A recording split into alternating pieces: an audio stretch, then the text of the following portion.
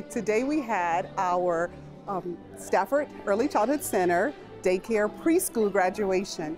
Um, we had 16 sweeties on stage singing songs um, for their parents and receiving um, special awards. Today, out of the 16, we have 12 of them that are moving on to pre-K 3 here at the Stafford Early Childhood Center. The other four will stay with us because their birthdays are after September 1st when they turn three, so we get to have them another year.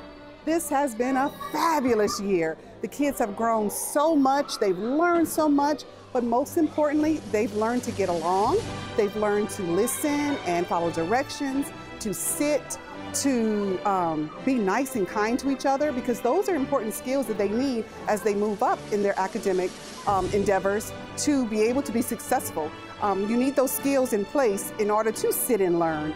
Um, but I'm proud to say not only did they master those skills, they also did master academics. Our kids are going to pre-K 3 learn, knowing their colors, their numbers, their shapes, their alphabet. Some of them are even knowing letter sounds and trying to read words. All of this happening in a two and three year old classroom. It's amazing.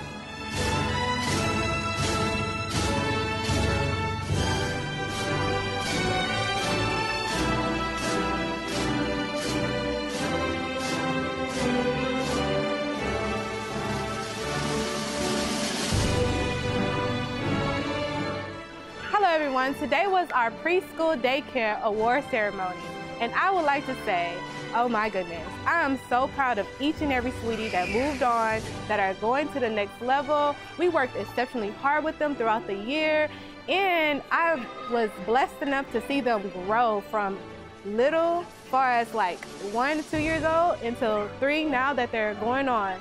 And the things we go over in the classroom are our numbers, our shapes. We also teach them emotional and social development growth and like teach them things like sharing and caring and um, also being gentle with their friends. And I am extremely proud of each and every one of them.